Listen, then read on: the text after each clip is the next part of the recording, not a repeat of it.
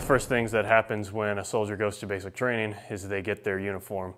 And uh, wearing a uniform is an important part for, um, that's part of the good order and discipline that goes into being a military force, is uh, basically knowing who's on your side. Um, you know, we all wear the same uniform, uh, helps us identify who we are. But at the same time, as you can see, it's camouflage, which you know, helps when we're in certain environments. If we're in the desert, it helps camouflage us among the sand. If we're in a forest environment, uh, the green helps us blend in there as well. Um, but the very first uniform you probably get day one is the physical fitness uniform.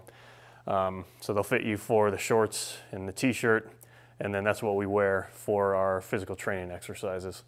A lot of people like to just wear their own workout clothes, but again, um, having everybody wear the same uniform uh, builds the sense of togetherness um, that comes with being in the military. For the uniform, uh, for the what we call um, the Army Combat Uniform, ACU, the pattern that's on the ACU is the Operational Camouflage Pattern, or OCP. A lot of times we use those terms interchangeably. Um, you know, we'll, we'll call the whole uniform OCPs or ACUs.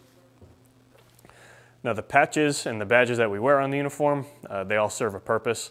We wear our, our last name on our, on our right chest to identify who we are.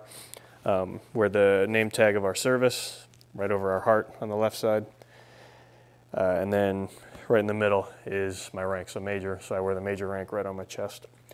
Um, the American flag we wear on the right sleeve, and as you can see there, it's not backward, it's you know as if it was advancing forward, which is why the, the, the stars are on the right side there.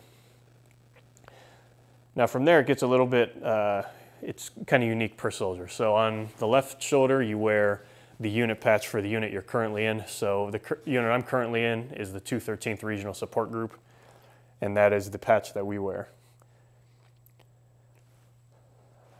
On the right side, if you've served in a combat zone with a unit, you can wear that patch on your right arm. So not every soldier has a unit patch on the right arm. It's reserved for, like I said, if you've served in a combat zone with that unit, you can wear that patch on your right arm. So this is the patch for the 28th Infantry Division.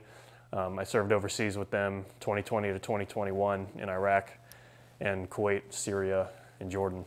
Um, that counted as combat service, so I get to wear that patch on my right arm throughout my career. There's also some badges that some people get, specialty like skill badges. Um, say you've served, uh, say you've been engaged by the enemy. Um, if you served in actual combat, you would get a combat action badge or a combat infantryman badge.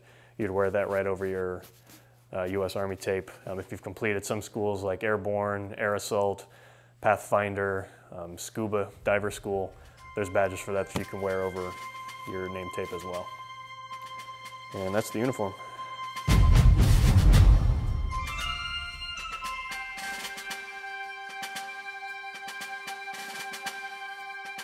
For more from Mosaic, please like and subscribe to the channel or check out another video. To help support this project, please visit witf.org/mosaic.